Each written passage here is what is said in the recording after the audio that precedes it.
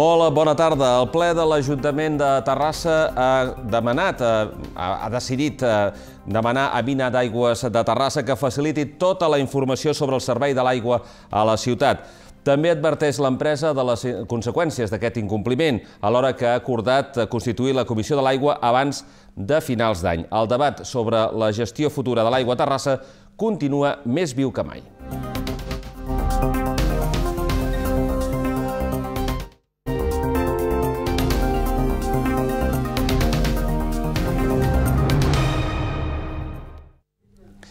Mina d'Aigües de Terrassa ha de facilitar tota la informació sobre el servei de l'aigua a la ciutat. Així ho ha decidit la sessió plenària del mes de novembre de l'Ajuntament, que també ha acordat constituir la Comissió de l'Aigua abans d'acabar l'any.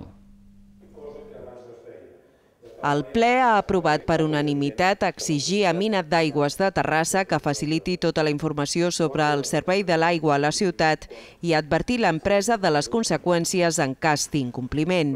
El ple també ha acordat constituir la Comissió de l'Aigua abans de finals d'any. El tràmit ha tirat endavant amb el vot en contra del Partit Popular, amb cinc acords més d'una mateixa proposta de resolució que garanteix la correcta reversió del servei de l'aigua a l'Ajuntament.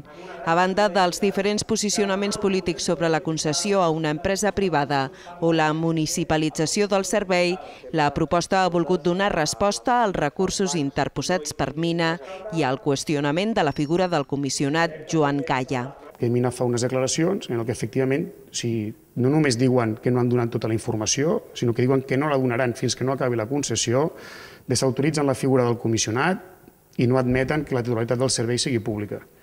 Per tant, tenem un acte de clara, de clara rectificació a les declaracions que el senyor alcalde havia fet anteriorment i, per tant, li demanem que hi hagi un canvi d'actitud amb, aquestes, amb aquesta situació. El problema ha estat la indefinició de bona part de les formacions polítiques avui aquí representades, entre elles el PSC i aquí sí que excloc a la TEC, sobre quin ha de ser el model de gestió en la prestació d'un servei públic, com és en aquest cas el subministrament de l'aigua, que és de competència municipal. I no hi han moltes opcions, hi han dos models de gestió d'un servei públic. L'aigua, i que s'ha de gestionar des de l'òptica sempre, sempre de l'interès col·lectiu, que és el que hem vingut nosaltres a defensar. El que no podem permetre és que ens ensenyin les dents amb un recurs judicial que posa en dubte el nomenament d'un expert que hem consensuat 26 dels 27 regidors que estem sentats en aquest ple. Se trata de defender los intereses de ciudad, que son los intereses de todo, de no aprovechar las circunstancias eh, para hacer partidismo, porque la propuesta y la defensa de los intereses de todos los ciudadanos va mucho más allá de eso, y de encardinar el debate realmente donde el, el, el debate tiene que ser efectivo, que es en la Comisión del Agua. Realment, quins són els inconvenients del sistema actual, quines són les seves limitacions i, sobretot, quina serà la factura que s'haurà de pagar amb aquell sistema que acabem nosaltres decidint que és el millor. Penso que realment, i torno a apel·lar al mateix que es deia abans, o que deia jo abans, aquí el que realment interessa i importa és l'interès de la ciutadania. Aquest Ajuntament eh, és sobirà per a prendre una decisió i no es pot qüestionar en cap cas que és la ciutat de Terrassa i aquest ple la representa la titular del servei.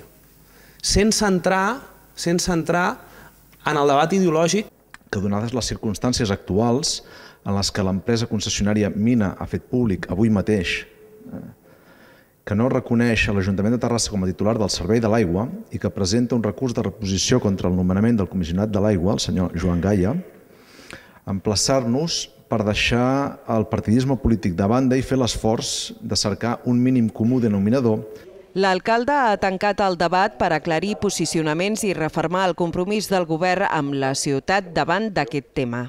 Del senyor Joan Gaia, lamentem i lamentem profundament que la concessionària del servei s'hi oposi, ja que pensem que tot i les declaracions en sentit contrari, aquest fet pot afegir una dificultat més el procés de liquidació de la concessió i definició del futur model, expressar el nostre respecte al dret que té la concessionària a fer les accions que consideri oportunes, com qualsevol empresa, com qualsevol entitat o persona, mitjançant els instruments i les eines que les lleis democràtiques posen a disposició de totes i de tots.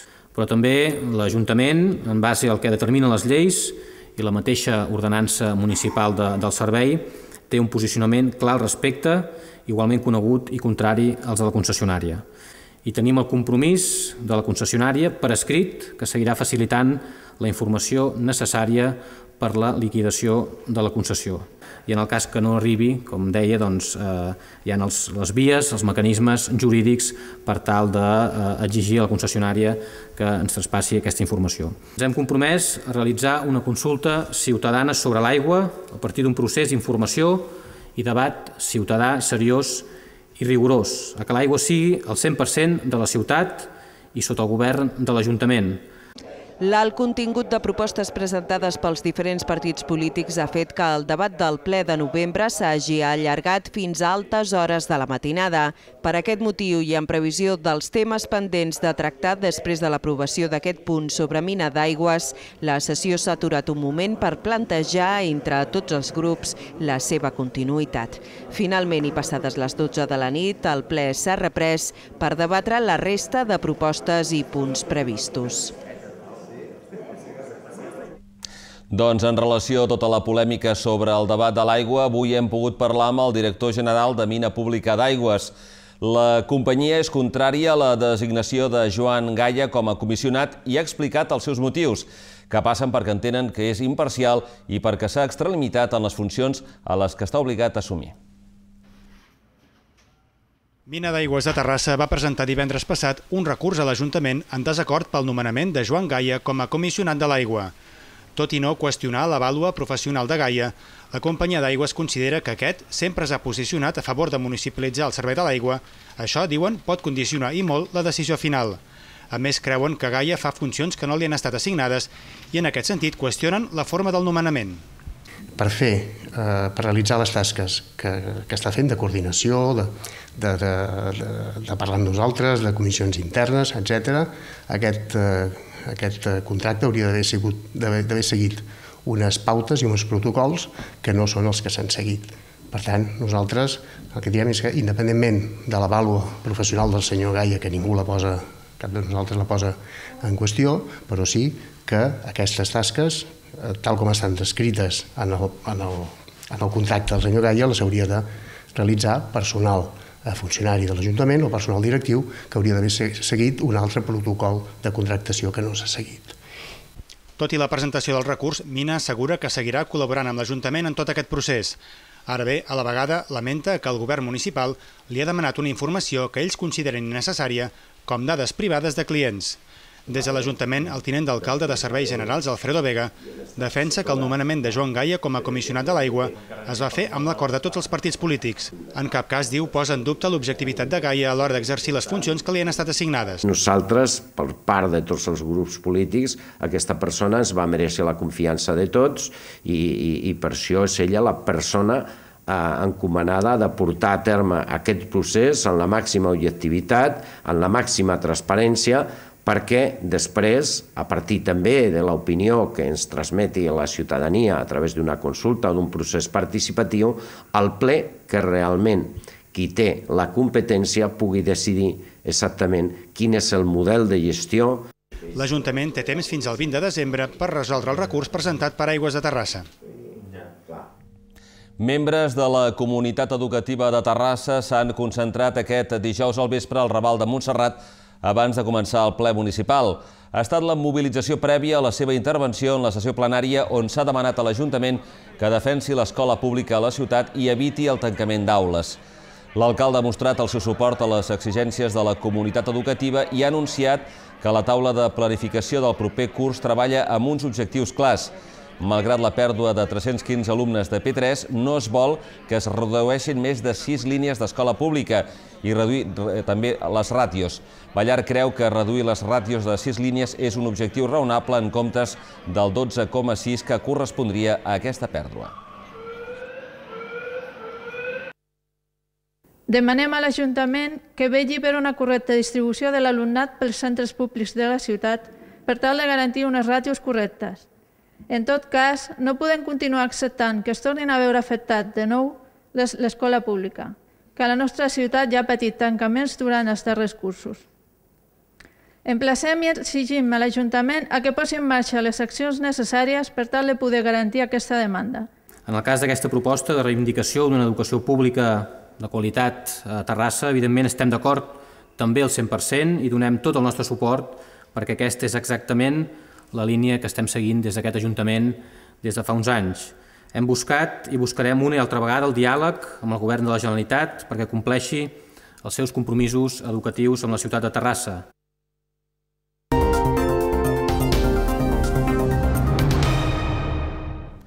Terrassa no s'escapa de la febre del Black Friday, la festa del consum importada dels Estats Units.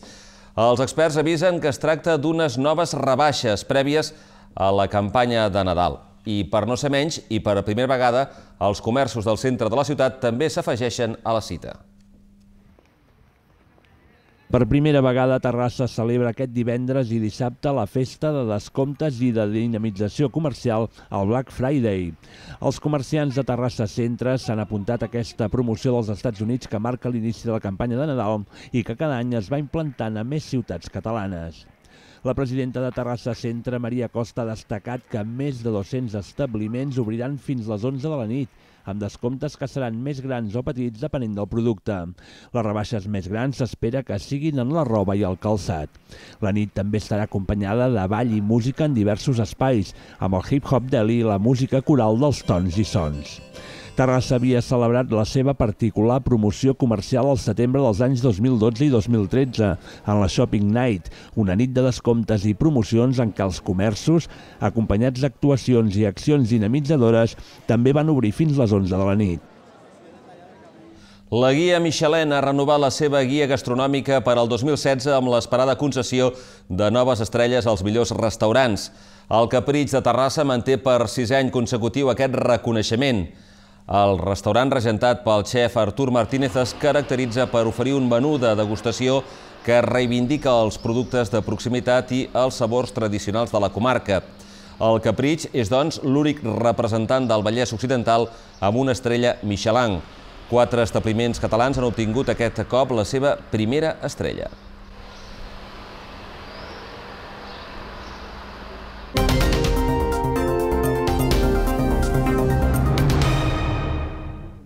El Terrassa Futbol Club vol recuperar davant el Sant Feliuenc el camí de la victòria a casa. L'equip agarenc rep un equip que suma 3 victòries en els últims 4 partits. Una jornada més, els agarencs presenten baixes. En total 5, Miqui, Pau i Marc Vilajosana per lesió i Carles Güell i Èric per sanció. El Terrassa Futbol Club vol tornar a recuperar la línia de bons resultats a l'Olímpic després de perdre el darrer partit a casa contra el Palamós. El conjunt de David Pirri, que ve d'oferir una excel·lent imatge al camp del Júpiter, rep diumenge un altre dels equips de la part baixa de la taula, el Sant Feliuenc. I és que un triomf dels agarencs significaria fer un salt molt important a la classificació. Tot i ser novens, sumen 22 punts, 3 menys que el tercer, el Gavà, en una clara evidència de la competitivitat que hi ha aquesta temporada a la tercera divisió. El Sant Feliuenc, que es troba a només un punt dels llocs de descens, sembla un rival propici per recuperar el camí del triomf a l'Olímpic, però els del Baix Llobregat arriben en bona forma, ja que porten 3 victòries en els últims 4 partits, l'última davant del Granollers. D'aquí que el tècnic del Terrassa adverteix de les dificultats que presenta aquest partit. És un rival que le gusta jugar al fútbol, que trata bien el balón, genera ocasiones de gol, eh, tiene muchísima velocidad y verticalidad. Bueno, es un equipo que se nos puede complicar aquí, se nos puede atragantar en el Olímpico, por eso debemos, de estar muy, muy, muy serios y muy concentrados. Este año la tercera división está muy igualada y, por circunstancias, yo creo, de, mala suerte, el San Felipe está allá abajo por lo que está, pero es un equipo que, que he visto mucho y, y es un equipo que, en el que juega bien y genera muchas ocasiones, lo que no está teniendo fortuna ahora mismo de cara al gol. Una jornada més, David Pirri tindrà problemes per completar la convocatòria, ja que té les baixes de Miqui, Pau i Marc Vilajosana per lesió i de Carles Güell i d'Eric per sanció. Carlos Rodríguez Enrique serà l'encarregat de dirigir l'últim partit de l'any a l'Olímpic. Començarà a les 5 de la tarda i es podrà seguir per la ràdio municipal de Terrassa. El seleccionador espanyol femení d'hoquei herba, Adrián Loc, ha confeccionat una llista de 26 jugadores que es concentraran a partir de dilluns i fins al proper 7 de desembre a Madrid. El tècnic anglès continua, doncs, amb la seva preparació per als Jocs Olímpics de Rio de Janeiro a l'espera que la Federació Internacional confirmi la renúncia de Sud-àfrica a la cita olímpica, plaça que ocuparà precisament l'equip espanyol. Cal destacar que 10 jugadores agarenques han estat incloses en aquesta darrera convocatòria. Són Mariona Giravent, Carola Salvatella i Maria Tost, del Club Egara. Júlia Pons del Club Deportiu Terrassa, Marta Segur i Chantal Giné del Reial Club Polo, Carlota Patxamé del Júnior, Glòria Comerma i Berta Bonastre del Waterloo Ducks i del Wellington belgues respectivament i Georgina Oliva del Kampong holandès. Dimarts vinent, la selecció espanyola masculina de waterpolo disputarà la tercera jornada de la Lliga Mundial. Serà contra França. El partit que tindrà lloc a les instal·lacions del Club Natació Sant Andreu suposarà el debut com a local de l'equip espanyol. El seleccionador nacional, Gavi Hernández, ha elaborat una llista de 13 jugadors on hi figuren una vegada més el porter del Club Natació Terrassa, Iñaki Aguilar, i el seu company d'equip, Ricard Alarcón, ja habituals en les darreres convocatòries. Cal recordar que Espanya encara no coneix la victòria a la Lliga Mundial, ja que ha perdut els dos primers partits de la competició davant de dues de les grans potències d'aquest esport, com són Montenegro per 11 a 6 i contra Sèrbia per 13 a 12.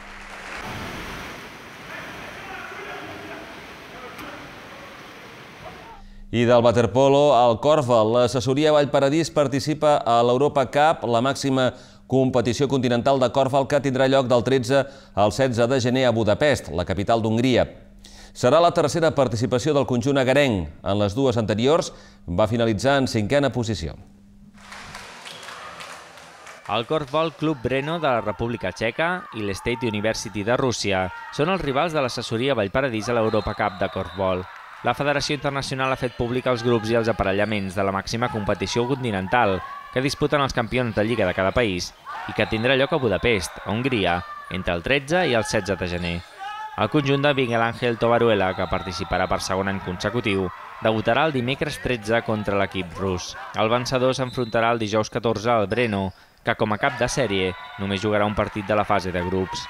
Qui guanyi, però, jugarà probablement amb el gran favorit al títol, el PKC holandès en l'encreuament de semifinals.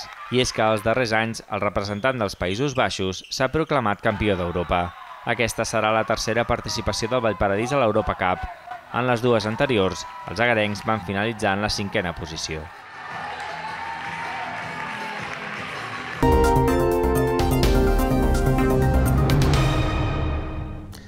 La sala d'actes dels Amics de les Arts ha acollit aquest dijous a la tarda la projecció del documental que repassa els fets que van succeir durant una manifestació en la qual Esther Quintana va perdre un ull. Sota el títol de A tu, què et sembla?, el film recull el cas d'Esther Quintana, que va perdre l'ull esquerre durant la manifestació per la vaga general que es va fer a Barcelona el 14 de novembre de 2012. Quintana va rebre l'impacte d'una bala de goma disparada pels Mossos d'Esquadra en un cas que ha arribat als jutjats. La presentació de la projecció ha anat a càrrec de Joan Tamayo, membre de la Comissió de Drets Humans del Col·legi d'Advocats de Terrassa i ha comptat també amb la participació de la mateixa Esther Quintana, la qual podem veure en aquestes imatges. En la seva intervenció, Quintana ha agraït les mostres de solidaritat que ha rebut durant tot aquest temps i espera que el seu cas no es torni a repetir. El fiscal demana, recordem-ho, dos anys de presó per a dos Mossos d'Esquadra. Un subinspector i un agent estan acusats d'imprudència greu al disparar pilotes de goma i incomplir presumptament la normativa en coses socials, en política, en les lleis que estan canviant tips, vam quedar que hi havia una columna. La nova temporada BBVA de dansa té el ballet com a protagonista. Les estrelles de la Royal Ballet, Eva Yerbabuena o el ballet de Biarritz són algunes de les propostes del Centre Cultural per l'any vinent.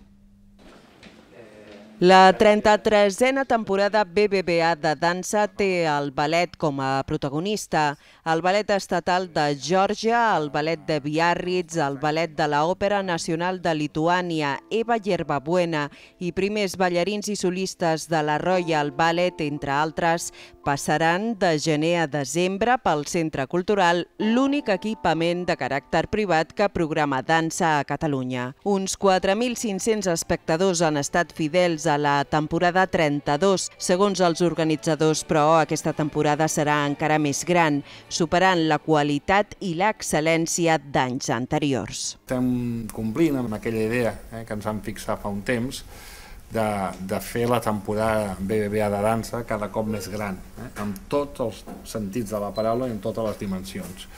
Gran en valor eh, cultural, en valor artístic, i, va, i gran en valor social. La companyia de dansa vertical del revés, que fusiona diversos llenguatges artístics i empra l'arquitectura com a suport del moviment, actuarà el 17 de setembre sobre la façana de l'edifici BBVA de Terrassa de forma gratuïta. L'espectacle familiar al Trencanous obrirà la temporada el 9 de gener. També es contemplen sessions solidàries escolars i classes magistrals per a escoles de dansa. La companyia francesa de Biarritz inicia la temporada pròpiament dita el 20 de febrer amb dues peces del coreògraf Thierry Malandin, Estro amb música de Vivaldi i Nocturns de Frédéric Chopin. Les estrelles del Royal Ballet la tancaran el 17 de desembre de 2007. 2016. I ara música. Litus torna amb disc nou sota el braç i dissabte el presenta a casa seva, a Terrassa. El músic agarenc actuarà demà dissabte a la Nova Jascava, acompanyat de la seva banda habitual, però amb la col·laboració afegida del Brossa Quartet de corda. El músic promet un concert ple de sorpreses i amb el segell característic de Litus. És una sala que em permet Mm, jugar em permet eh, no haver de fer un concert mm, eh, normal, sinó que, que, que hi hagi sorpreses, que, que passin coses, que passin coses i, i eh, jo crec que la gent ja ho sap això, no? la gent s'ha acostumat a que els, els dies que hi ha concert a la Nova Jascava algú passarà i és maco perquè no, no només ve gent de Terrassa, sinó que gent ve d'arreu de Catalunya, doncs, eh, s'apunta aquesta data per, eh, perquè sap que serà un dia especial, i ho serà. Mi bicicleta Recordem que la cita amb Litus i aquesta presentació del seu nou disc miércoles 14 eh, serà demà dissabte a partir de les 10 de la nit a la nova Jascava de Terrassa. Per anar fent boca del concert, avui ens acomiadem amb el videoclip de Pedalear, el primer senzill del disc. Que vagi bé, bona tarda i bon cap de setmana.